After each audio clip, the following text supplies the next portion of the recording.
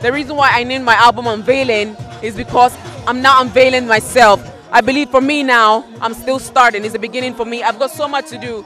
I started quite early, but I'm still young and I've got so much life ahead of me. And so I believe that there's more to, more to do. My album is Unveiling. It's, I put a lot of passion, soul, work, hard work in it. And it's an album that has taken two years to do.